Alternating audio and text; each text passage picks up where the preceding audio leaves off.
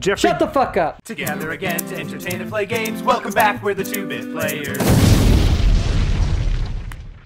Hey guys, I'm Jeffrey. I'm Noah. We're the two bit players, and we're playing Jak and Daxter, the Precursor Saga. the Origin. precursor Noah's stuck in the precursor basin. Uh, and what are we doing?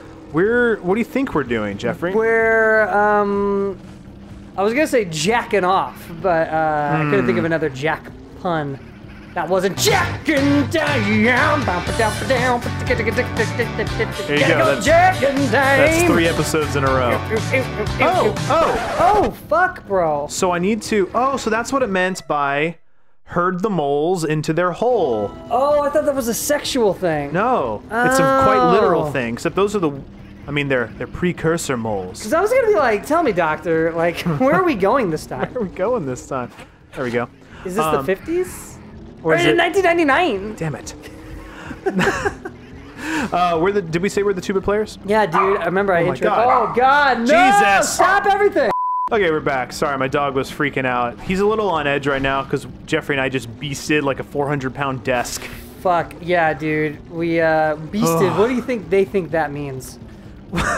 like we just beasted, like we just built one. Sexually dominated. he just pounded it into oblivion. um, No, we removed it from your apartment. And Yeah. uh, the cool thing is you live on the fourth floor. right, so we had to go and down. Hmm. it's snowing outside. And we could only take the escape. Uh, what's it? The fire escape uh, stairs outside the window. uh, and uh, it sucks, bro. Absolutely. Uh, no, we but we all that is like twenty percent of that's true. Right. So if, if if normally Nigel is only mildly traumatized when Jeffrey arrives to record, He but hates me. now that Jeffrey's shown up and we've been very loudly moving a gigantic desk around the apartment, moving chairs out of the way, slamming doors, moving it, you know, down the hallway where we Uh-huh. can hear him barking for miles. Oh my god, yeah, he was very upset. Ah, gosh. You already did this. No, but there's a thing to get. Actually, I think I was going past it. There's more stuff to do. What are you doing? I feel like we've already done this. We've done part of it. It's just so freaking tedious. Yeah, well, yeah, because this thing is like all slippy and slidey. It's like I just want, just want good platforming and, and, and good good jackster controls. See, this is like when I think of like a platform game, Uh huh. I think of like this. Ah! This and Ratchet and Clank. You think of this frustration? Uh, no, not this. This is actually a bad time to mention it. when I think of platforming, I think of the zoomer. What the fuck is that? I'm assuming that's what that's what I started calling this little thing that we're Oh, on. that's your I'm not sure if it's actually called a zoomer, but I don't know. Watch me next season on Shark Tank. When you invent the zoomer, The zoomer. and then Naughty Dog sues you. Yep. Here we go. Um, but like I like this kind of platform game, not as much obviously Donkey Kong 64, Banjo Oh, oh, Kazooie oh, there it is. platform. Mhm. This one is more. This one feels more like uh, Conker's Bad Fur Day. Right, there's a progression of a story. You don't go into a Yes. world and it's like, here, do 10 things, And, then, just never go to the back. next, and, and like one thin plot line, and then you're just going through all these worlds to get to your sister who's abducted by the witch, which is fine. But like uh, Conker was like every world was like a there was like like a short like movie, like a like its own kind of thing, and this has like does this this doesn't go to different worlds though, does it? Well, you had the different areas of the island. that are like themed. Different. Yeah. Well, I mean, I guess it's kind of like Banjo Kazooie then, huh? But this is more like plot lining and more like tasks and quests and like, uh, I don't know. I just like the Story progression. points? Yeah, I like this progression mode. That's why I love Sly Cooper. I love those games. Oh um, wait, God. speaking of when I said the word island, I thought of, uh, I watched the first two episodes of The Island. I land. Island on our plane ride. Holy shit, that is bad. It's shocking, dude. I was shook. I watched the whole thing in two days, three days. I watched it with Tim. dude, it was. It's, it's, I, I didn't think it would be this bad. I, my mouth was agape the entire time. It was. Wait till you get to the last line of the last episode. You told bro. me about it. Did I tell you? Yeah. I could not fucking believe it. I was like, now are you calling me dumb? Like, it was. It's horrible, and that show cost um. How many episodes? Oh, thank it? God. I think it was it's like, 10. It was like two million bucks an episode. What?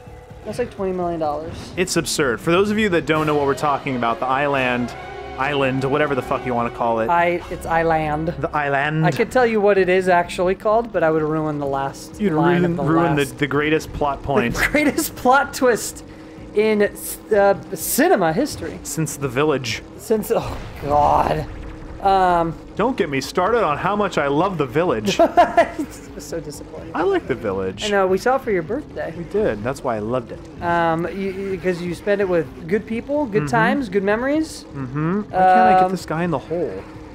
and didn't we make a movie that day Yeah, we made like three movies that day. We were so inspired. we were inspired by m night Shyamalan Um, on his but yeah, decline. God, that thing, like, literally n- none of it makes sense. It reminds me of a script written, which is funny. It's written by Neil LaBute, which is, I know the name, and I thought he was like a famous playwright, but I didn't recognize anything on his on his Wikipedia. Um, but I know the name. Anyways, it sounds like something that was in like our freshman year film class written.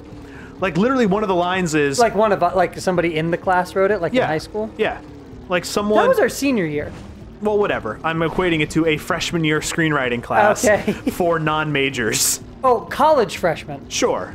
Or high school freshman. There's a big difference. Doesn't Which one are you matter. It does matter. We're Well, talking- One is 13.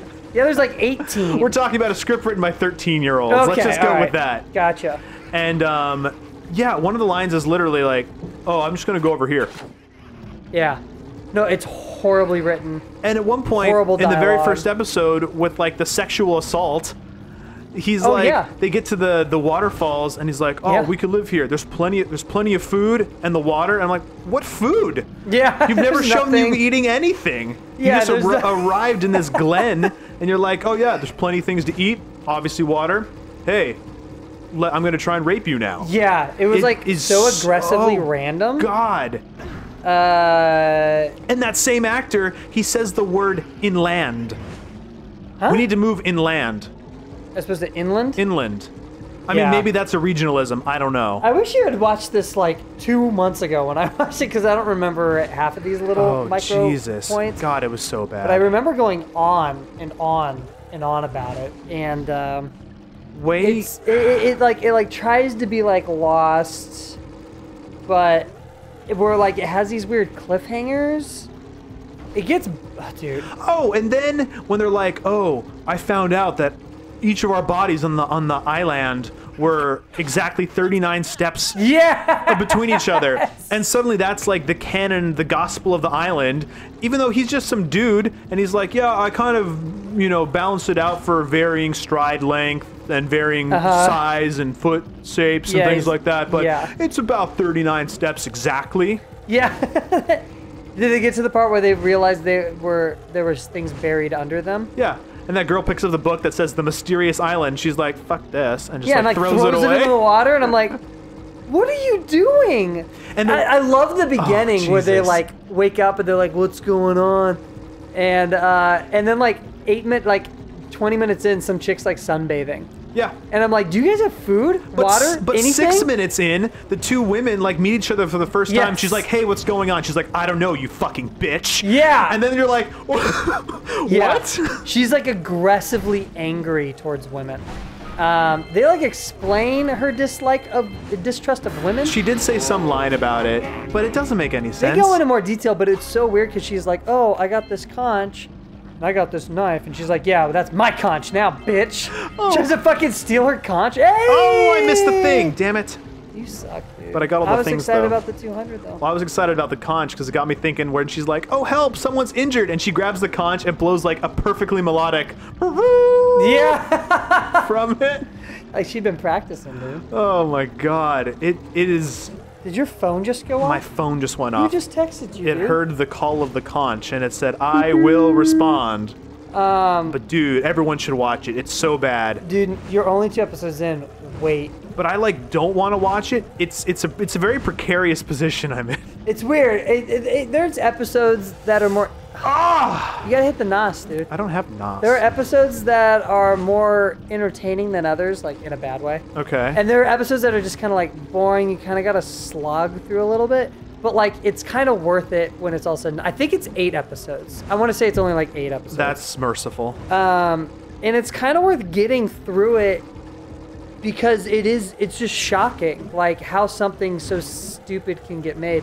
Do you ever see um, uh, Superman Returns? No. The one with Brandon Routh? Hey, we got it. Brandon Routh? I don't know who that is. Bryan Singer? No. You know Bryan Singer? I, hold on one Direct- second. What?